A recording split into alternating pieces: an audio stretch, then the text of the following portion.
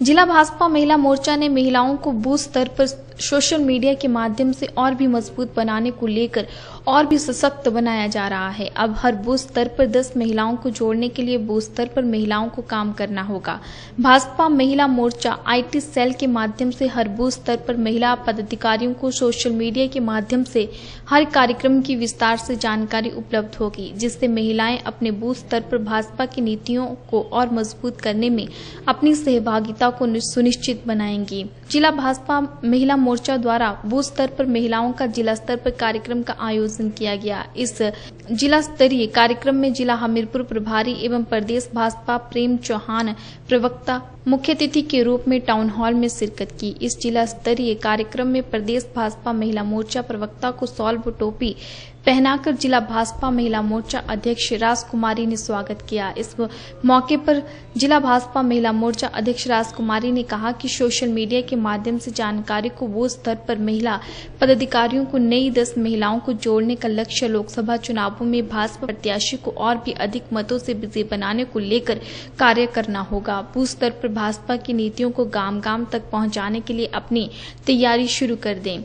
गाँव बूथ स्तर पर दस महिलाओं को जोड़ने के लिए, पार्टी के लिए और भी मजबूती प्रदान करेगा। उन्होंने कहा कि प्रधानमंत्री नरेंद्र मोदी के नेतृत्व में देश व प्रदेश में भाजपा ने लोगों के हितों को लेकर मजबूती से काम किया है। हिमाचल प्रदेश में मुख्यमंत्री जयराम ठाकुर के नेतृत्व में भाजपा सरकार लोगों के विकासात्मक कार्यों को लेकर कई महत्वपूर्ण योजनाएँ शुरू कर रही है।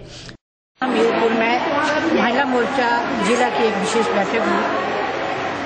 बैठक में, ये बैठक जो है, हमारी जो जिला की अध्यक्षा राजकुमारी उसकी अध्यक्षता में है इस बैठक का जो खास मुद्दा था वो था कि संगठन की दृष्टि से महिला मोर्चा को और कैसे सुदृढ़ बनाया जाए और कैसे सक्रिय किया जाए। उस दृष्टि से जो संगठन की मैं यहाँ पे जो मैं आदेश लेके आई हूँ, वो है कि एक बूथ पे हमने पहले कमल वाहिनी का जो एक कार्यक्रम था, उसके तहत एक बूथ पे पाँच महिलाओं को जोड़ने का पहले काम किया था।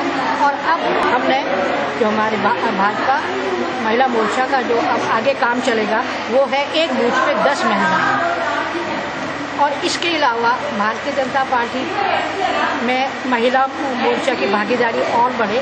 इसके लिए सोशल मीडिया में महिलाएँ कैसे एक्टिव हो आईटी सेल जो हमारा है, उसमें महिलाएँ ज़्यादा से ज़्यादा कैसे आए?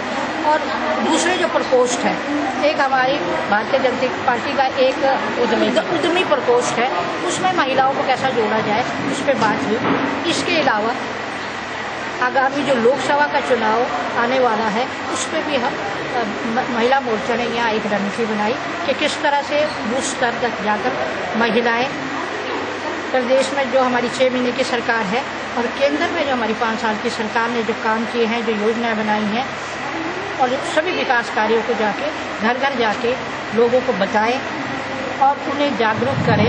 इस बारे में भी यहाँ पे महिला मोर्चा ने एक रणनीति बनाई और उस पर काम करने का महिला मोर्चा की जो जितनी भी पाँचों मंडलों से अध्यक्षाएँ आई थी, उन्हें काम सौंपा। हम ही नहीं, पूरी आम जनता इसका खंडन कर रही है, जैसे आप देखते हैं कि राष्ट्रीय स्तर से लेकर जहाँ भी कहीं मीडिया में, किसी चैनल में, किसी भी अखबार में जब बात होती है तो जनता ही इसका खंडन कर रही है, क्योंकि जो हमारी सरकारें हैं, मोदी जी की जो सरकार है, उन्होंने इस प्रदेश की, इस देश की हालत बदल दी है।